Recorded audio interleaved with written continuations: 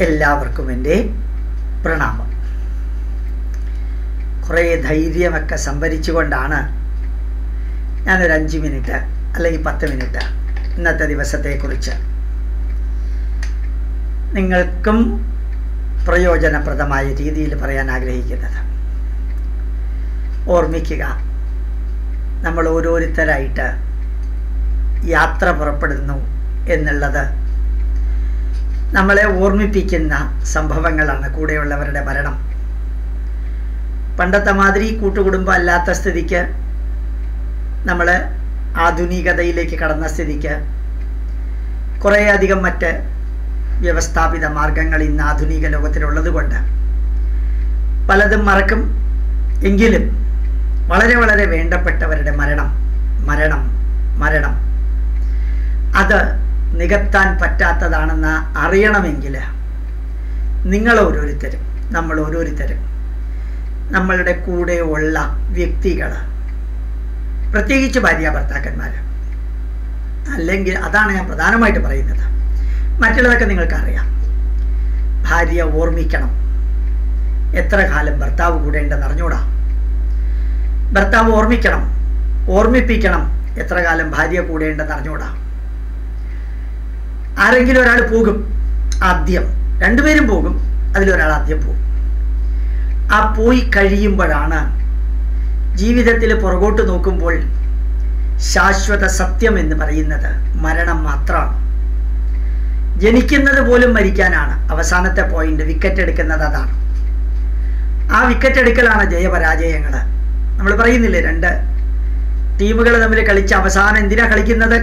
ആര് ജയിക്കുന്നു എന്ന്. ചോദിക്കാൻ അറിയാൻ പറയാൻ വിവരിക്കാൻ കാണാൻ മാത്രമാണ്. അതുകൊണ്ട് മരണം എന്നുള്ളത് ജീവിതത്തിന്റെ ഭാഗമാണ്. അതിൽ നിസ്സഹായത എന്നുള്ളതുണ്ട് ഒറ്റയ്ക്ക് ജീവിച്ച വ്യക്തിക്ക് പലപ്പോഴും അങ്ങനെ ഒരു പ്രതിഭാസമില്ല കാരണം അയാൾ ഒറ്റയ്ക്കായിരുന്നു ഒറ്റയ്ക്കാണ് ഒറ്റയ്ക്കായിരിക്കും. പക്ഷെ കൂടെയുള്ളവർ അവർ ഈ ലോകത്തോട് യാത്ര പറഞ്ഞു പോകുമ്പോൾ മറ്റു പലതും ചിന്തിക്കാനും പറയാനും മറ്റു പലതിലും ഇൻവോൾവ് ചെയ്യാനും സമയവും ഊർജവും ആരോഗ്യവും ഉള്ളവർ അങ്ങനെ ചിന്തിക്കും. പക്ഷേ എത്ര സമയമുള്ളവരും എത്ര ആരോഗ്യമുള്ളവരും എത്ര ഊർജമുള്ളവരും അതിന്റെ എല്ലാം ലാസ്റ്റ് പോയിന്റിലേക്ക് എത്തുന്ന ഒരു ദിവസമില്ലേ? കാരണം ജീവിതത്തിൽ നിന്ന് പതുക്കെ പതുക്കെ പതുക്കെ ആരോഗ്യ കാരണങ്ങളാൽ വിരമിക്കുന്നവർക്ക് ആ കൂടെയുള്ള ഭാര്യ പോകുമ്പോൾ കൂടെയുള്ള ഭർത്താവ് പോകുമ്പോൾ അതൊരു ഭയങ്കരമായിട്ടുള്ള അനുഭവത്തിന്റെ വെളിച്ചത്തിൽ മാത്രം അറിയാൻ സാധിക്കുന്ന വേദനയാണത്. എന്തെല്ലാം വഴക്കിട്ടിട്ടുണ്ടെങ്കിലും എന്തെല്ലാം തമ്മിൽ അഭിപ്രായ വ്യത്യാസങ്ങളുണ്ടെങ്കിലും കൂടെയുള്ള ആൾ പോയി. നമ്മുടെ ധർമ്മത്തിൽ നമ്മുടെ ധർമ്മത്തിൽ ഹിന്ദു ധർമ്മത്തിൽ മറ്റ് മതങ്ങളെ പോലെയല്ല ഭാര്യ എന്ന് പറയുന്നത് കൃഷിയുടെ അല്ല. ഭാര്യ എന്ന് പറയുന്നത് ജീവിക്കാൻ കുറേ കാലം കൂട്ടത്തിൽ അവളുമായിട്ട് നമുക്ക് സ്വരച്ചേർച്ചയില്ലെങ്കിൽ വേറൊരെണ്ണത്തിനെ അവരുമായിട്ട് സ്വരച്ചേർച്ചയില്ലെങ്കിൽ വേറൊരെണ്ണത്തിനെ അങ്ങനെ എടുക്കുന്നതല്ല നമ്മളുടെ സംസ്കാരം. ആ സംസ്കാരത്തെക്കുറിച്ച് അറിയണമെങ്കിൽ ആ സംസ്കാരത്തിൽ അല്പമെങ്കിലും അറിവും ആ വിവാഹത്തിന്റെ മഹത്വവും അതിൽ ജനങ്ങൾ സാക്ഷിയായിട്ടിരിക്കുന്നതും അന്ത്യയാത്രയും ആ അന്ത്യയാത്രയ്ക്ക് ചിതയിൽ തീ കൊളുത്തുന്നതും അവസാനത്തെ ശ്വാസം വലിക്കുന്നതും ആ ശരീരം വെള്ളം കൊണ്ട് കുളിപ്പിക്കുന്നതും അതൊരു ഹവിസായിട്ട് അഗ്നിയിൽ മന്ത്രം ചൊല്ലി കത്തിക്കുന്നതും അതൊന്ന് ചിന്തിക്കണം. ഭാര്യ മരിക്കുന്നതിന് മുമ്പ് ഭർത്താവ് മരിക്കുന്നതിന് മുമ്പ് ഒന്ന് ചിന്തിക്കണം. നിങ്ങൾ ചിന്തിക്കണം ഇത് ഗോപാലകൃഷ്ണന്റെ അഭ്യർത്ഥനയാണ്. കാരണം അനുഭവിച്ചവന് മാത്രമേ അനുഭവിച്ചതിന്റെ സുഖദുഃഖങ്ങളും വേദനകളും അതുപോലെ തന്നെ ജയപരാജയങ്ങളൊക്കെ മറ്റൊരുവനെ വിവരിച്ച് മനസ്സിലാക്കി കൊടുക്കാൻ സാധിക്കുള്ളൂ. ഓർമ്മിക്കുക കൂടെ ഉണ്ടായിരുന്ന ആൾ. ഒരുമിച്ച് ചായ കുടിച്ചാൽ മതി എന്ന് പറയുന്ന ആൾ. ഞാൻ ചായ ഉണ്ടാക്കി തരാം നിങ്ങൾ ഇരുന്നോളൂ എന്ന് പറയുന്ന ആൾ. നമുക്കിന്ന് വൈകുന്നേരം നിങ്ങൾ നേരത്തെ വന്നാലേ ഭക്ഷണം കഴിക്കാൻ ഒരുമിച്ച് കഴിക്കാൻ പറ്റുള്ളൂ കേട്ടോ. പത്ത് മണി വരെ കൂടുതൽ എനിക്ക് കാത്തിരിക്കാൻ പറ്റില്ല എന്ന് പറയുന്ന ശബ്ദം. മകൻ പൊക്കോട്ടെ മകൾ പൊക്കോട്ടെ നിങ്ങൾ എന്റെ അടുത്ത് ഇരുന്നാൽ മതി എന്ന് പറയുന്ന ഭാര്യയുടെ ശബ്ദം. നിങ്ങൾ പോകരുത് കേട്ടോ നിങ്ങൾ കൂടെ ഉണ്ടാവണം എന്ന് പറയുന്ന ശബ്ദം. ഇതെല്ലാം ഇതെല്ലാം യഥാർത്ഥമായിരുന്നു. പക്ഷേ മരിച്ചു കഴിഞ്ഞപ്പോൾ അതെല്ലാം മായയായി. അമ്മ അല്ലെങ്കിൽ ഭാര്യ ഭർത്താവിന് വേണ്ടി ജീവിച്ചത് അമ്മ അച്ഛന് വേണ്ടി ജീവിച്ചത് മക്കൾ ഒരു ശതമാനം പോലും അറിയില്ല. അച്ഛൻ അമ്മയ്ക്ക് വേണ്ടി അഥവാ ഭർത്താവ് ഭാര്യയ്ക്ക് വേണ്ടി ജീവിച്ചതും മക്കൾ ഒരു ശതമാനം പോലും അറിയില്ല. ചെറുപ്പത്തിൽ അതൊന്നും ഓർമ്മിക്കാനുള്ള ഒരു മാനസികാവസ്ഥയല്ല അവർ. കുറേശ്ശെ പ്രായമായി വരുമ്പോഴത്തേക്കും അവർ ശ്രദ്ധിക്കുന്നത് അച്ഛനും അമ്മയും തമ്മിലുള്ള സ്വരചേർച്ചയല്ല സ്വര സംഘർഷമാണ് പലപ്പോഴും അവരുടെ മനസ്സിൽ നിൽക്കുന്നത്. അമ്മയ്ക്കെതിരെ അച്ഛൻ അച്ഛനെതിരെ അമ്മ ഇതാണ് മനസ്സിൽ നിൽക്കുന്നതെല്ലാം. അവർ പരസ്പരം ജീവിച്ചവരുടെ ശരീരവും മനസ്സും ചിന്തയും ഊർജവും എല്ലാം പങ്കുവെച്ചിട്ടാണ് ഒരു കുടുംബം ഉണ്ടായത് എന്ന് പലപ്പോഴും മക്കൾക്ക് ചിന്തിക്കാൻ പറ്റിയെന്ന് വരില്ല. അവരുടെ മക്കളാവുമ്പോൾ അവരും അവരുടെ അച്ഛനമ്മമാരെ കുറിച്ച് ഓർത്തൊന്നും വരില്ല. അവർ അവരുടെ മക്കളെ കുറിച്ച് ഓർക്കും. അവരുടെ ദാമ്പത്യ ജീവിതത്തെക്കുറിച്ച് ഓർക്കും.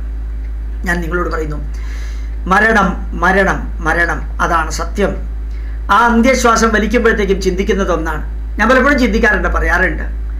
ഡൽഹിയിലേക്ക് മകൻ പോയി. ഒരു ദിവസം തിരിച്ചു വരും റിട്ടേൺ ടിക്കറ്റ് കൊടു ബുക്ക് ചെയ്തിട്ടാണ് പോയിരിക്കുന്നത്. അമേരിക്കയിലേക്ക് പോയി. മിഡിൽ ഈസ്റ്റിലേക്ക് പോയി. അല്ലെങ്കിൽ വേറൊരു ഓഫീസിലേക്ക് പോയി തിരിച്ചു വരും. മരണത്തിന്റെ ടിക്കറ്റ് എടുത്താൽ പിന്നെ തിരിച്ചു വരവില്ല. അയാളെ കാണാൻ സാധിക്കില്ല. ഞാൻ എല്ലാ ഊർജവും എടുത്തുകൊണ്ടാണ് ഞാനിത് പറയുന്നത്. ഇല്ലെങ്കിൽ ഞാൻ പൊട്ടി കരയും ഞാൻ രാവിലെ കുറേ കരഞ്ഞു ഇന്ന്. ആ കരഞ്ഞത് തന്നെ എന്നാലെങ്കിലും ഇതെനിക്ക് പറയാനൊരു ഊർജം കിട്ടുമോ എന്നറിയാനാണ്. മരണത്തിൽ ആൾ പോയി കഴിഞ്ഞാൽ പിന്നെ തിരിച്ചു വരില്ല. അത് അന്ത്യയാത്രയാണ്. അതുകൊണ്ട് നിങ്ങളുടെ ഭാര്യ നിങ്ങളുടെ മക്കൾ മക്കളുടെ കാര്യം അവിടെ ഇരിക്കട്ടെ. നിങ്ങളുടെ ഭാര്യ നിങ്ങളുടെ ഭർത്താവ്. അത് മാത്രമേ ഞാനിപ്പോൾ പറയുന്നുള്ളൂ. ആ ഭർത്താവിന് നിങ്ങൾക്ക് ഇഷ്ടമുണ്ടെങ്കിലും ഇല്ലെങ്കിലും ആ ഭാര്യയ്ക്ക് നമുക്ക് ഇഷ്ടമുണ്ടെങ്കിലും ഇല്ലെങ്കിലും അവരെ തലോടിക്കൊണ്ട് അവരെ ആശ്വസിപ്പിച്ചുകൊണ്ട് അവർക്ക് കേൾക്കാനുള്ളത് പറഞ്ഞുകൊണ്ട് അവർക്ക് ആസ്വദിക്കാനുള്ളത് ആസ്വദിപ്പിച്ചുകൊണ്ട് അവരുടെ കൂടെ നടന്നുകൊണ്ട് അവർക്ക് ആഗ്രഹമുള്ളത് എന്തോ അത് സാധിപ്പിച്ചുകൊണ്ട് എത്ര കാലം സാധിക്കുമോ അത്രയും കാലം. ഒരു മനുഷ്യനും പ്രത്യേകിച്ച് ഭാരതത്തിലെ കേരളത്തിൽ ഒരു മനുഷ്യനും അനന്തമായ ആഗ്രഹങ്ങളൊന്നും ഉണ്ടാവില്ല. അനന്തമായിട്ടുള്ളത് ഒന്നും ഉണ്ടാവില്ല. ചെറിയ ചെറിയ ചില ആഗ്രഹങ്ങൾ ഒന്ന് സിനിമയിലേക്ക് പോകണം അല്ലെങ്കിൽ രണ്ട് സാരി വാങ്ങിക്കണം അല്ലെങ്കിൽ ഒരു മോതിരം വേണം അല്ലെങ്കിൽ ഒന്ന് അമ്മയുടെ വീട്ടിലേക്ക് നിങ്ങൾ കൂടെ വരണം അല്ലെങ്കിൽ നമുക്കൊന്ന് ഒന്ന് ഡൽഹി വരെ പോകണം അല്ലെങ്കിൽ ഒരു തീർത്ഥയാത്രയ്ക്ക് പോകണം അങ്ങനെയുള്ള ഏതോ ആഗ്രഹങ്ങൾ ആർക്കോ വേണ്ടി എന്തൊക്കെയോ കൂട്ടി വയ്ക്കുന്ന നിങ്ങളോട് ഗോപാലകൃഷ്ണൻ അഭ്യർത്ഥിക്കുന്നു. ഒന്നും പെൻഡിങ് വെക്കല്ലേ? ഒരാഗ്രഹവും ഭാര്യയുടെ പെൻഡിങ് വെക്കല്ലേ? വെച്ചാൽ പിന്നീടത് നഷ്ടബോധവും കുറ്റബോധവും അവസാനിപ്പിക്കും. അതിലും അവസാനിക്കും. നിങ്ങളുടെ ഭാര്യയുടെ ആഗ്രഹങ്ങൾ നിങ്ങളുടെ ഭർത്താവിന്റെ ആഗ്രഹങ്ങൾ അത് നശീകരണാത്മകമല്ല ഡിസ്ട്രക്റ്റീവ് അല്ല എങ്കിൽ എണ്ണി എണ്ണി എഴുതി വെച്ചത് തീർത്തേക്കുക. അത് തീർത്തേക്കുക. അതിലെ റിയാക്ഷൻ ആവട്ടെ അല്ലെങ്കിൽ റീ റിയാക്ഷൻ ആവട്ടെ ആക്ഷനും റിയാക്ഷനും പോസിറ്റീവ് ആവട്ടെ നെഗറ്റീവ് ആവട്ടെ ഒരു കാര്യം ഉറപ്പാണ് ഒരാഗ്രഹവും എന്റെ ഭാര്യ മരിച്ചു പോകുമ്പോൾ പെൻഡിങ് ആയിട്ട് വെക്കരുത് എന്ന് ആഗ്രഹം ഉണ്ടായിരുന്നു. പ്രത്യേകിച്ച് ആദ്യകാലങ്ങളിൽ ചെറുപ്പത്തിൽ കുറേയൊക്കെ ആഗ്രഹങ്ങൾ ഉണ്ടായിരുന്നു. അത് പലതും നമ്മൾ ചെയ്തു കൊടുക്കാൻ ശ്രമിച്ചിട്ടും അത് വിജയിച്ചില്ല. കാലം അനുവദിക്കാത്ത വിധത്തിൽ അബദ്ധം പറ്റിയിട്ടുണ്ട്. പക്ഷെ അതിപ്പോഴും ഓർമ്മയിലുണ്ട്. അന്നത് ചെയ്യാമായിരുന്നു. ഏതെങ്കിലും വിധത്തിൽ ചെയ്യാമായിരുന്നു എന്നിപ്പം നോക്കുന്നു. അത് ഓർമ്മിക്കുമ്പോഴാണ് നഷ്ടബോധം. അതിന്റെ കൂട്ടത്തിൽ അവൾ കൂടെ ഉണ്ടായിരുന്നു എല്ലാത്തിലും. ഏത് സുഖത്തിലും ദുഃഖത്തിലും കൂടെ ഉണ്ടായിരുന്നു. ഭർത്താവിന് ദേഷ്യമുള്ളപ്പോൾ പോലും ഭർത്താവിന് സുഖമില്ല കൊറോണയാണ് തളരുന്നുണ്ട് എന്നറിയുമ്പോൾ തനിക്ക് കൊറോണ വരുമോ എന്ന് പോലും ചിന്തിക്കാതെ ഭാര്യ സംരക്ഷിച്ചു. അനങ്ങാൻ പറ്റാതെ കിടക്കുന്നതിനിടയ്ക്ക് നിരങ്ങിപ്പോയിട്ട് ഭക്ഷണവും ചായ ഉണ്ടാക്കി തന്നു. കാരണം മുറിക്കകത്ത് കിടക്കല്ലേ? അതുകൊണ്ട് ഇതെല്ലാം ഓർക്കുമ്പോൾ എന്തൊരു നമ്മളെ നമ്മൾക്കായി പങ്കുവെക്കാമെന്ന പാട്ട് എത്ര അർത്ഥവത്താണ്. ആശതൻ തേനും നിരാശതൻ കണ്ണീരും ആത്മദാഹങ്ങളും പങ്കുവെക്കാൻ സാധിക്കുന്ന ലോകത്തിൽ ഏതോ വീട്ടിൽ ജനിച്ചൊരു പെണ്ണ ഏതോ വീട്ടിൽ ജനിച്ചൊരാണ്. ഇവർ തമ്മിൽ ചേർന്നിട്ടാണ് ഭാര്യ ഭർത്താക്കന്മാരാവുന്നത് അച്ഛനോടും അമ്മയോടുമുള്ള ബന്ധത്തെക്കാൾ ഏറെ ബന്ധം ശരീരം വരെ പങ്കുവെച്ചിട്ടുള്ള ഒരു ജീവിതം. അതുകൊണ്ട് എനിക്ക് പറയാനുള്ളത് ഭർത്താവ് ഭാര്യയുടെ കൂട്ടത്തിൽ ഭാര്യ ഭർത്താവിന്റെ കൂട്ടത്തിൽ ഇരുന്ന് ഊണ് കഴിക്കുമ്പോഴും ചർച്ച ചെയ്യുമ്പോഴും ദേഷ്യപ്പെടുമ്പോഴും ദേഷ്യം കഴിഞ്ഞിട്ട് സന്തോഷിക്കുമ്പോഴും ചിരിക്കുമ്പോഴും ഒരുമിച്ച് ഓരോ മിനിറ്റ് ചെലവഴിക്കുമ്പോഴും ഓർമ്മിക്കുക ആ ദിവസങ്ങൾ കഴിഞ്ഞുപോയി. This time will also go that will also go അത് കഴിയും. എല്ലാ നന്മകളും പോകും. എല്ലാ തിന്മകളും പോകും. ഞാൻ നിങ്ങളോട് അഭ്യർത്ഥിക്കുന്നു തിരുത്താൻ പറ്റാത്ത ഒരു ലെവലിൽ എത്തിക്കഴിഞ്ഞ് തിരുത്താമായിരുന്നു എന്ന് ചിന്തിച്ചതുകൊണ്ട് കാര്യമില്ല. ആസ്വദിക്കുക. ആസ്വദിക്കുക എന്ന് പറയുന്നത് എങ്ങനെയാണെന്ന് ചോദിച്ചാൽ അത് വ്യക്തിത്വം അതാത് ഭാര്യയുടെയും ഭർത്താവിന്റെയൊക്കെ ചിന്താധാരകൾ അനുസരിച്ചിരിക്കുന്നു. സാധിക്കുന്നിടത്തോളം സാധിക്കുന്നിടത്തോളം ഷെയറിങ് കെയറിങ് ആൻഡ് ക്യൂറിങ് ഭാവിയിൽ ഏത് കാര്യം ചെയ്യുമ്പോഴും ഏതോ പുണ്യമായിരുന്നു കൊറോണ എന്ന് പറയുന്നത്. ഞാൻ നിരന്തര പ്രഭാഷണത്തിന് പോയിക്കൊണ്ടിരിക്കുന്ന കാലഘട്ടത്തിൽ നിന്ന് കറക്റ്റ് രണ്ടര വർഷം അവളുടെ കൂടെ തന്നെ ഇരുന്ന് തലോടിക്കൊണ്ട് അവളുടെ അസുഖത്തിന് നല്ല രീതിയിൽ ആശ്വാസവാക്കുകൾ പറഞ്ഞ കൂട്ടത്തിൽ ജീവിക്കാൻ ജഗദീശ്വരൻ വിവാഹം കഴിഞ്ഞ ഒരു ഇരുപത് വർഷവും അല്ല എൺപത്തി മൂന്ന് തൊണ്ണൂറ്റി മൂന്ന് രണ്ടായിരത്തി മൂന്ന് ഇരുപത് വർഷം വിവാഹത്തിൽ വിവാഹം കഴിഞ്ഞും പിന്നെ മരണത്തിനൊരു രണ്ട് രണ്ടര വർഷം മുമ്പും കുറേയധികം ദിവസങ്ങൾ മുടങ്ങാതെ അവളുടെ കൂടെ ഉണ്ടായിരുന്നു. അതുപോലെ ഇതിനിടയ്ക്കുള്ള കാലയളവിൽ ഉണ്ടായിരുന്നു ഒരു മാസത്തിൽ പതിനഞ്ചോ പതിനാറോ ദിവസം ഉണ്ടാവില്ല. ബാക്കി പകുതി കൂടുതൽ ഉണ്ടായിരുന്നു അതെല്ലാം ആലോചിക്കുമ്പോഴത്തേക്ക് പുറകോട്ട് തിരിഞ്ഞു നോക്കുമ്പോൾ ആശ്വാസമുണ്ട്. കുറേയൊക്കെ സമാധാനമുണ്ട്. പിന്നെ ഒരിക്കലും ഞാൻ അവളോട് എതിർത്തൊന്നും പറഞ്ഞിട്ടില്ല. ആദ്യകാലങ്ങളിൽ ദേഷ്യം തോന്നുമെങ്കിലും പിന്നെ പിന്നെ ഒരിക്കൽ ഞാൻ അവളോട് ശക്തമായിട്ട് ദേഷ്യപ്പെട്ടപ്പോഴത്തേക്കും എന്റെ മകൾ അത് കണ്ട് അൺകോൺഷ്യസ് ആയിട്ട് വീണു. അതിനുശേഷം ആറാം ക്ലാസ്സിൽ പഠിക്കുന്ന മകളുടെ വീഴ്ച കണ്ടതിന് ശേഷം പിന്നെ ഞാൻ അവളോട് ദേഷ്യപ്പെട്ടിട്ടില്ല. ദേഷ്യപ്പെടുമ്പോൾ പോലും ചിരിച്ചോണ്ട് വല്ലതും പറയും. അപ്പം തന്നെ അത് മറക്കാൻ പറയും. അവൾക്കൊരു ആഗ്രഹം ഉണ്ടായിരുന്നു. എപ്പോഴും എന്റെ ഭർത്താവ് എന്റെ കൂടെ ഉണ്ടാവണം. ഭർത്താവിന്റെ ചേട്ടാനിയന്മാരുടെ വീട്ടിലേക്ക് പോകരുത്. അങ്ങനെയൊക്കെയുള്ള തോന്നൽ ഒരു പൊസസീവ്നെസ് ആണെന്ന് തോന്നുന്നു.